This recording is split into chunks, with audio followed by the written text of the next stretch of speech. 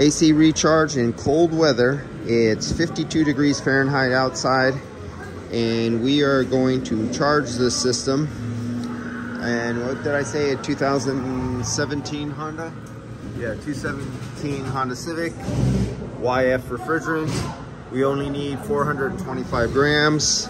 So let's get this thing charged. We have the low side is off. That's off. We're going to close the vacuum. We're going to open the liquid refrigerant to the tank going liquid into the high side. The high side is open and it'll charge from the high side. So let's zero it out. And we're zeroed out. And let's close the vacuum. See, I'm trying to keep everything everything in view so you can see the charge go in as I open up the liquid refrigerant to go in through the high side. So let's close the vacuum. Okay, vacuum is closed.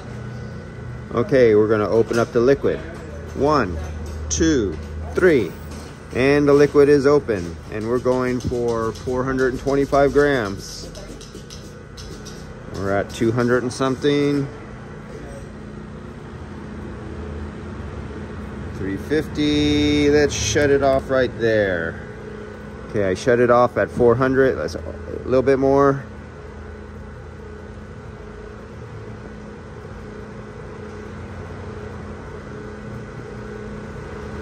I'll live with that right there. That's good enough for government work. So I'm gonna start it up.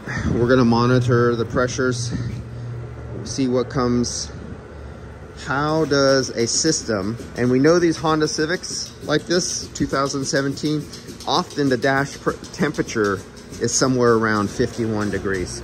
So what is the dash temperature gonna be when it's 52 degrees outside, you get 50, 51 degrees normal dash temperature, and what is our high side pressure going to look like? What is our superheat and subcooling going to look like? Well, let's find out. So we'll do that in the next video. I need to put the camera down and get ready to start the vehicle and we'll see what it looks like.